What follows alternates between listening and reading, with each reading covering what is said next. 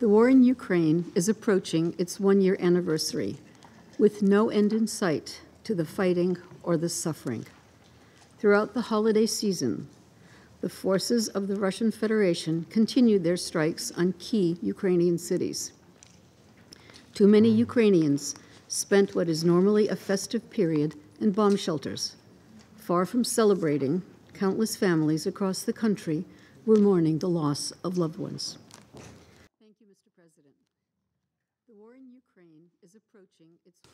It has created a humanitarian and human rights catastrophe, traumatized a generation of children, and accelerated the global food and energy crises.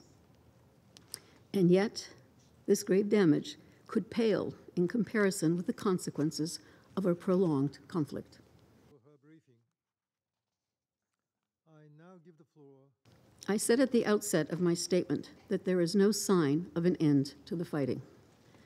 The logic that prevails is a military one, with very little, if any, room for dialogue right now. But all wars end, and so too will this one.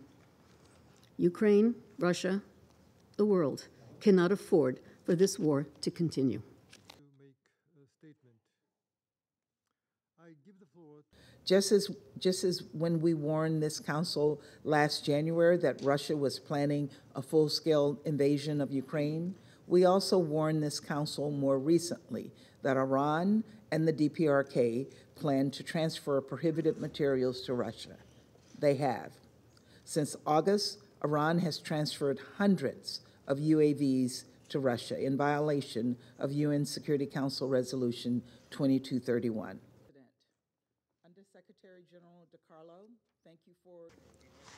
С началом СВО в феврале прошлого года эти планы были сорваны. И закончить СВО можно будет лишь тогда, когда с территории Украины больше не будет исходить угроза России, и когда закончится дискриминация для русскоязычного населения этой страны. Если же этот результат можно будет достичь с помощью переговоров, мы к такому сценарию готовы. Если же нет, все поставленные задачи будут достигнуты военным путем. Пока же ни киевский режим, ни его западные спонсоры нужных выводов из украинской катастрофы не сделали.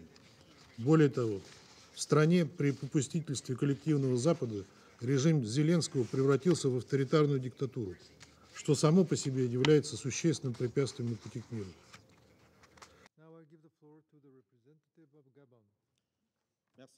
Ukraine has been turned into the world's largest minefield of 175,000 square kilometers.